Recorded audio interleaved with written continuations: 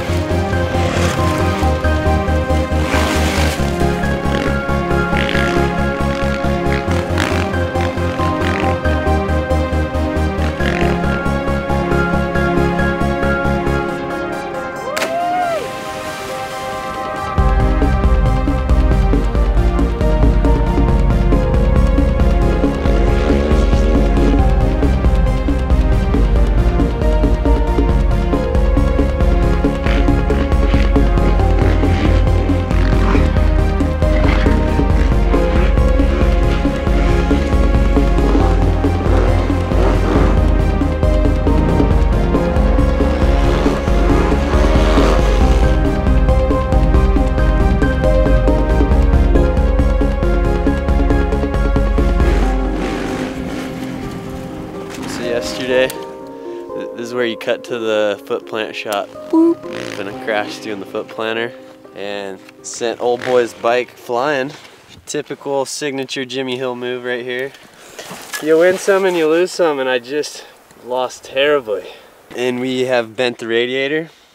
So now we're trying to fix it, get back out there in this beautiful Icelandic setting and uh, go find some freaking jumps today, boy. Almost said fucking, but we're gonna find some freaking jumps. But seriously, this location's a trip. It's like gravel pretty much with hard pack under it, which is strange. But there's mounds everywhere. Like it looks like it could be a skate park or something. So, but everything's real flat on the top. So we're gonna try and find something and stack up a lip, make some jumps.